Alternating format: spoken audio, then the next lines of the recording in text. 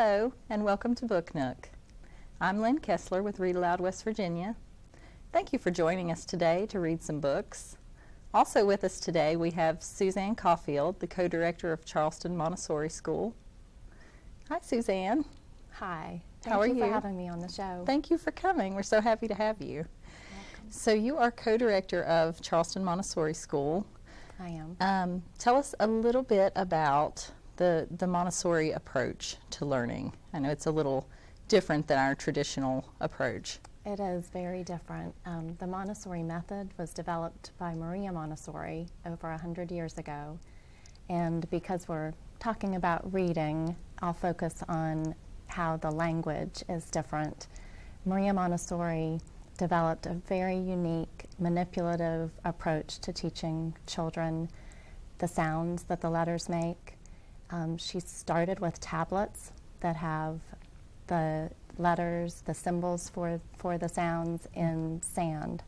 And so the children start learning with sandpaper letters, and they use two fingers from their dominant hand to trace the letters the same way that they would be written using those strokes.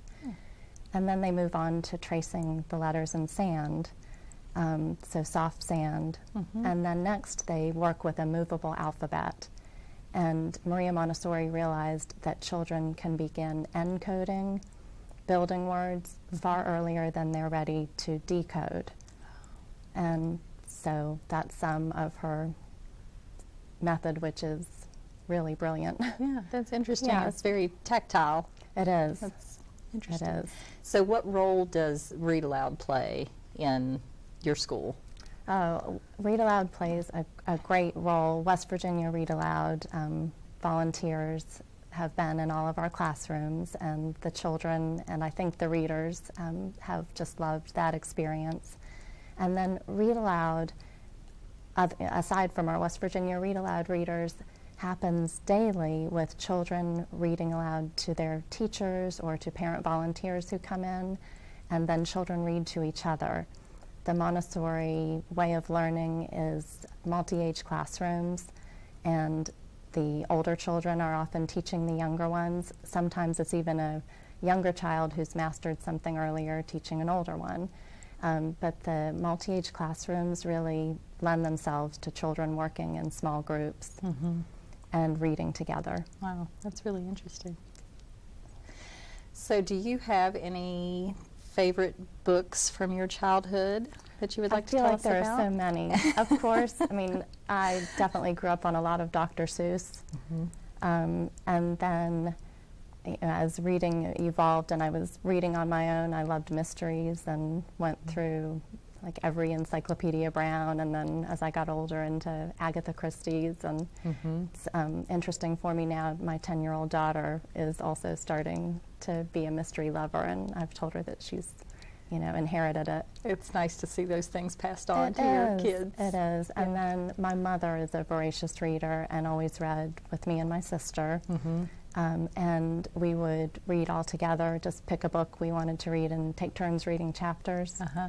So I, uh, you know, have vivid memories of books like Penrod and um, The Best Li- Little Christmas Pageant Ever. Mm-hmm. Just some of those fun books to read Those- and laugh and Yeah, those memories are so priceless, and that's that's one of the things we really encourage at Read Aloud is forming those bonds over books because then children associate that positive feeling of love from their parent with reading. And I believe in that wholeheartedly. Yeah. So, and we don't in the Montessori um, classrooms, we don't have them at like saying that you're at this level, you can only read these books. We really let the children explore their interests, and they're exposed to a wide range of books about the, the real natural world. And so it's not unusual for like three to six year olds to know uh, like all the parts of a flower and say that's the stamen or Uh-huh. you know be talking about something in Asian culture. Yes. Um, but Wow. it's because they have access to all that reading material. and they are capable of so much more than we give them They credit sure for are. sometimes. yeah. Wow, that's that's really interesting. Well, thank you for telling us some about the, the Montessori approach. That's Oh, my really pleasure. interesting to learn. Um, so, what what book are you going to start reading today? I'm going to start with The Relatives Came by Cynthia Rylant, and she is one of my favorite West Virginia authors. The Relatives Came by Cynthia Rylant, illustrated by Stephen Gammell. It was in the summer of the year when the relatives came. They came up from Virginia. They left when their grapes were nearly purple enough to pick, but not quite. They had an old station wagon that smelled like a real car, and in it they put an ice chest full of soda pop and some boxes of crackers and some bologna, bologna sandwiches, and up they came from Virginia. They left at four in the morning when it was still dark, before even the birds were awake. They drove all day long and into the night, and while they traveled along, they looked at the strange houses and different mountains, and they thought about their almost purple grapes back home. They thought about Virginia, but they thought about us too, waiting for them. So they drank up all their pop and ate up all their crackers and traveled up all those miles until finally they pulled into our yard. Then it was hugging time. Talk about hugging. Those relatives just passed us all around their car, pulling us against their wrinkled Virginia clothes, crying sometimes. They hugged us for hours. Then it was into the house and so much laughing and shining faces and hugging in the doorways. You'd have to go through at least four different hugs to get from the kitchen to the front room. Those relatives. And finally, after a big supper, two or three times around until we all got a turn at the table, there was quiet talk, and we were in twos and threes through the house. The relatives weren't particular about beds, which was good since there weren't any extras. So a few squeezed in with us, and the rest slept on the floor, some with their arms thrown over the closest person, or some with an arm across one person and a leg across another. It was different going to sleep with all that new breathing in the house. The relatives stayed for weeks and weeks they helped us tend the garden and they fixed any broken things they could find. They ate up all our strawberries and melons, then promised we could eat up all their grapes and peaches when we came to Virginia. But none of us thought about Virginia much. We were so busy hugging and eating and breathing together. Finally, after a long time, the relatives loaded up their ice chest and headed back to Virginia at four in the morning. We stood there in our pajamas and waved them off in the dark. We watched the relatives disappear down the road. Then we crawled back into our beds that felt too big and too quiet. We fell asleep. And the relatives drove on all day long and into the night. And while they traveled along, they looked at the strange houses and different mountains, and they thought about their dark purple grapes waiting at home in Virginia. But they thought about us too, missing them, and they missed us. When they were finally home in Virginia, they crawled into their silent, soft beds and dreamed about the next summer.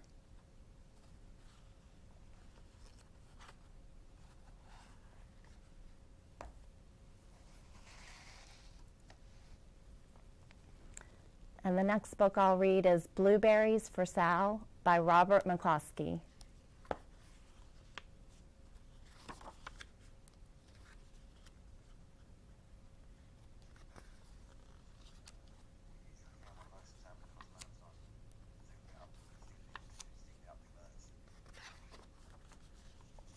One day, little Sal went with her mother to Blueberry Hill to pick blueberries.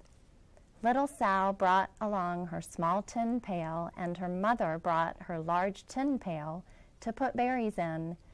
We will take our berries home and can them, said her mother. Then we will have food for the winter. Little Sal picked three berries and dropped them in her little tin pail. Kaplank, kaplank, kaplunk.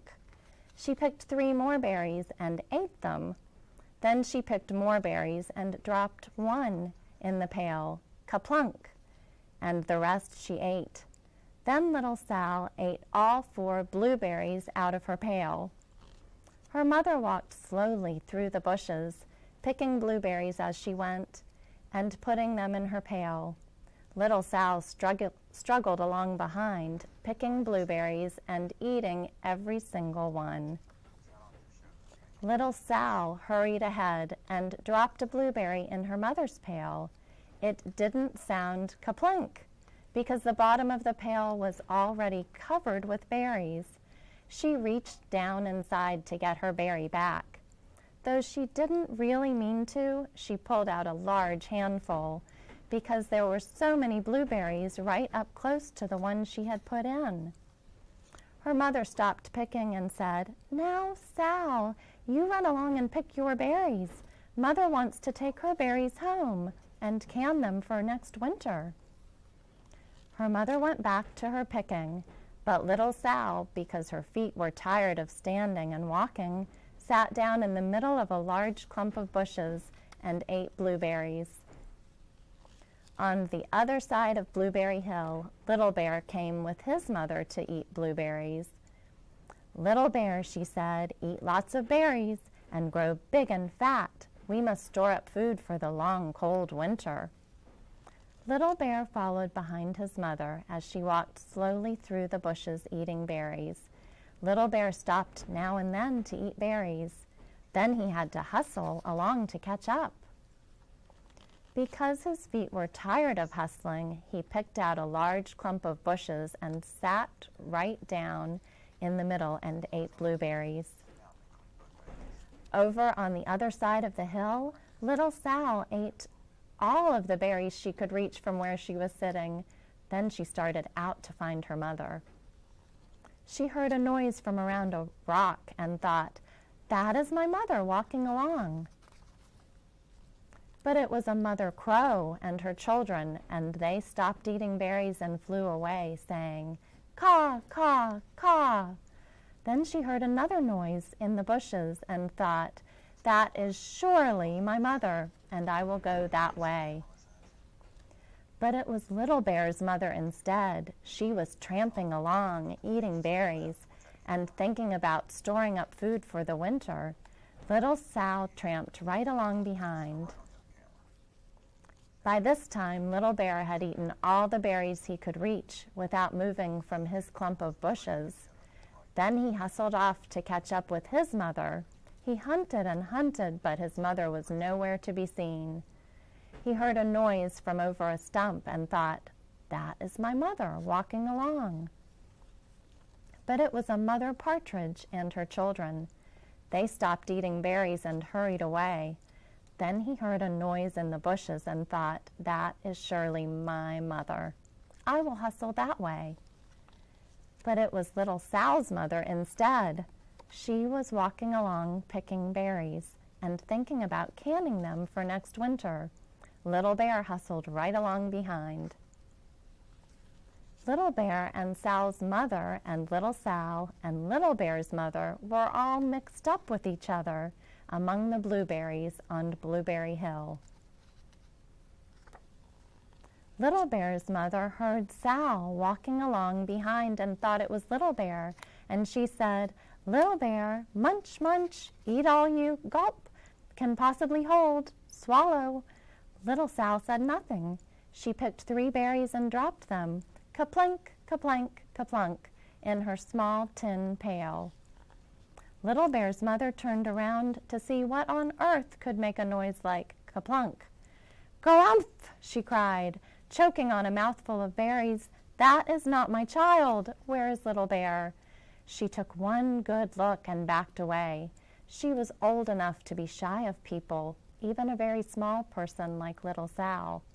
Then she turned around and walked off very fast to hunt for Little Bear. Little Sal's mother heard Little Bear tramping along behind and thought it was Little Sal. She kept right on picking and thinking about canning blueberries for next winter. Little Bear padded up and peeked into her pail. Of course, he only wanted to taste a few of what was inside, but there were so many and they were so close together that he tasted a tremendous mouthful by mistake. Now, Sal, said little Sal's mother without turning around, you run along and pick your own berries. Mother wants to can these for next winter. Little Bear tasted another tremendous mouthful and almost spilled the entire pail of blueberries. Little Sal's mother turned around and gasped, My goodness, you are not little Sal. Where, oh, where is my child? Little Bear just sat munching and munching and swallowing and licking his lips. Little Sal's mother slowly backed away. She was old enough to be shy of bears, even very small bears like Little Bear. Then she turned and walked away quickly to look for little Sal. She hadn't gone very far before she heard a kaplink, kaplank, kaplunk. She knew just what made that kind of a sound. Little Bear's mother had not hunted very long before she heard a rustling sound that stopped now and then to munch and swallow. She knew just what made that kind of a noise. Little Bear and his mother went home down one side of Blueberry Hill, eating blueberries all the way, and full of food stored up for next winter. And little Sal and her mother went down the other side of Blueberry Hill, picking blueberries all the way, and drove home with food to can for next winter, a whole pail of blueberries and three more besides.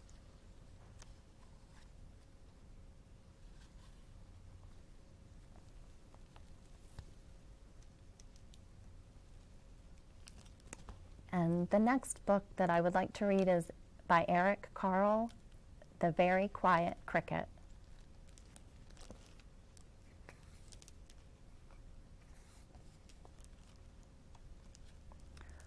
One warm day, from a tiny egg, a little cricket was born. Welcome, chirped a big cricket, rubbing his wings together. The little cricket wanted to answer, so he rubbed his wings together. But nothing happened, not a sound. Good morning, whizzed a locust, spinning through the air. The little cricket wanted to answer, so he rubbed his wings together. But nothing happened, not a sound. Hello, whispered a praying mantis, scraping its huge front legs together. The little cricket wanted to answer, so he rubbed his wings together, but nothing happened, not a sound. Good day, crunched a worm, munching its way out of an apple. The little cricket wanted to answer, so he rubbed his wings together, but nothing happened, not a sound. Hi, bubbled a spittlebug, slurping in a sea of froth. The little cricket wanted to answer, so he rubbed his wings together, but nothing happened, not a sound. Good afternoon, screeched a cicada, clinging to a branch of a tree. The little cricket wanted to answer, so he rubbed his wings together, but nothing happened, not a sound. How are you? hummed a bumblebee, flying from flower to flower. The little cricket wanted to answer, so he rubbed his wings together, but nothing happened, not a sound. Good evening, whirred a dragonfly, gliding above the water. The little cricket wanted to answer, so he rubbed his wings together, but nothing happened, not a sound. Good night, buzzed the mosquitoes, dancing among the stars. The little cricket wanted to answer, so he rubbed his wings together, but nothing happened, not a sound. A luna moth sailed quietly through the night, and the cricket enjoyed the stillness. As the Luna moth disappeared silently into the distance, the cricket saw another cricket. She too was a qu- very quiet cricket. Then he rubbed his wings together one more time, and this time he chirped the most beautiful sound that she had ever heard.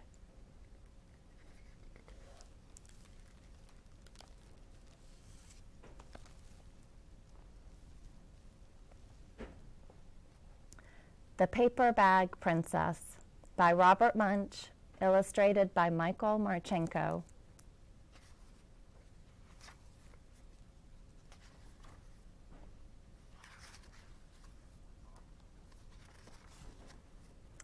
Elizabeth was a beautiful princess. She lived in a castle and had expensive princess clothes. She was going to marry a prince named Ronald. Unfortunately, a dragon smashed her castle, burned all of her clothes with his fiery breath, and carried off Prince Ronald. Elizabeth decided to chase the dragon and get Ronald back. She looked everywhere for something to wear, but the only thing she could find that was not burnt was a paper bag. So she put on the bag and followed the dragon. He was easy to follow because he left a trail of burnt forests and horses' bones. Finally, Elizabeth came to a cave with a large door that had a huge knocker on it. She took hold of the knocker and banged on the door. The dragon stuck his nose out of the door and said, Well, a princess. I love to eat princesses, but I have already eaten a whole castle today. I am a very busy dragon. Come back tomorrow. He slammed the door so fast that, that Elizabeth almost got her nose caught. Elizabeth grabbed the knocker and banged on the door again.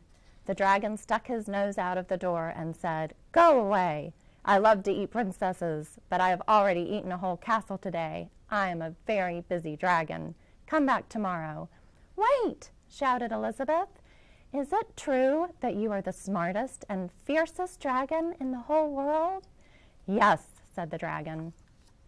Is it true, said Elizabeth, that you can burn up ten forests with your fiery breath? Oh, yes, said the dragon. And he took a huge, deep breath and breathed out so much fire that he burned up fifty forests.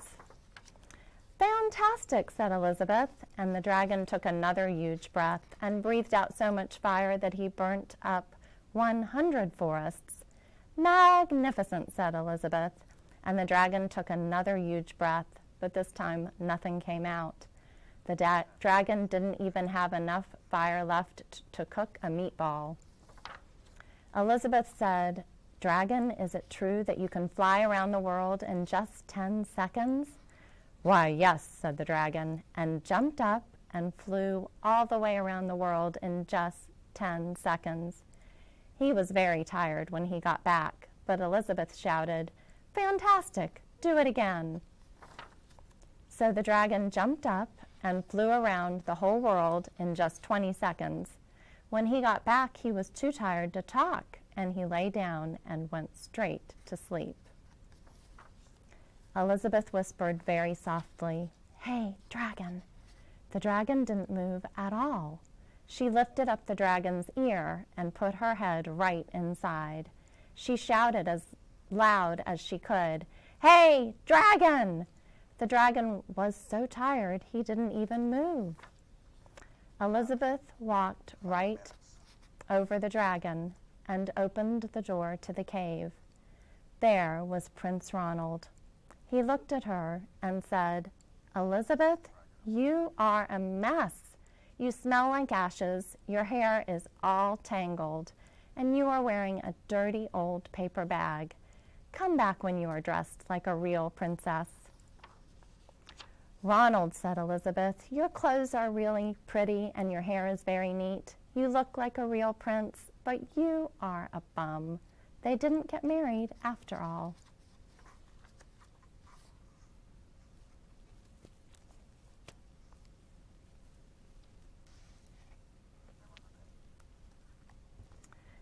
Miss Nelson is Missing by Harry Allard, illustrated by James Marshall.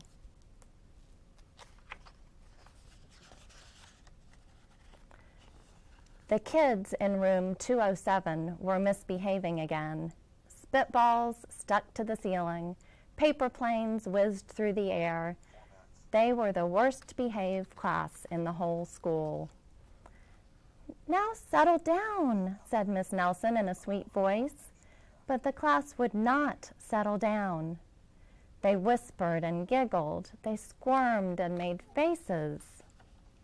They were even rude during story hour, and they always refused to do their lessons.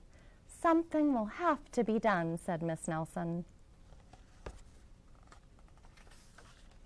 The next morning, Miss Nelson did not come to school. Wow, yelled the kids. Now we can really act up. They began to make more spitballs and paper planes. Today let's be just terrible, they said. Not so fast, hissed an unpleasant voice. A woman in an ugly black dress stood before them. I am your new teacher, Miss Viola Swamp. And she rapped the desk with her ruler. Where is Miss Nelson? asked the kids. Never mind that, snapped Miss Swamp. Open those arithmetic books. Miss Nelson's kids did as they were told. They could see that Miss Swamp was a real witch. She meant business. Right away, she put them to work. And she loaded them down with homework. We'll have no story hour today, said Miss Swamp. Keep your mouths shut said Miss Swamp. Sit perfectly still, said Miss Swamp. And if you misbehave, you'll be sorry, said Miss Swamp. The kids in room 207 had never worked so hard. Days went by, and there was no sign of Miss Nelson. The kids missed Miss Nelson. Maybe we should try to find her, they said. Some of them went to the police. Detective McSmog was assigned to the case. He listened to their story. He scratched his chin. Hmm, he said. Hmm. I think Miss Nelson is missing. Detective McSmog would not be much help. Other kids went to Miss Nelson's house. The shades were tightly drawn and no one answered the door. In fact, the only person they did see was the wicked Miss Viola Swamp coming up the street. If she sees us, she'll give us more homework. They got away just in time. Maybe something terrible happened to Miss Nelson. Maybe she was gobbled up by a shark, said one of the kids. But that didn't seem likely.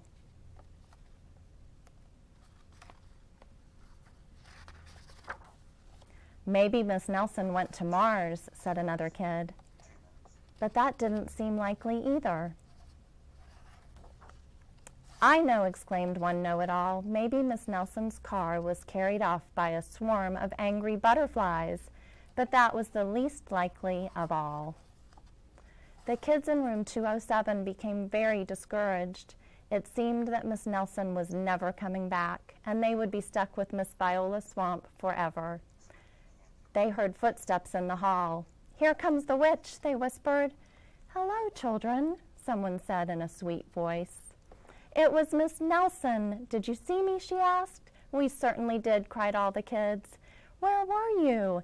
That's my little secret, said Miss Nelson. How about a story hour? Oh, yes, cried the kids. Miss Nelson noticed that during story hour no one was rude or silly. What brought about this lovely change? she asked. That's our little secret, said the kid. That's all the time we have for Book Nook today. You can find all of these books on the children's floor of our local library. Thank you for listening to Book Nook.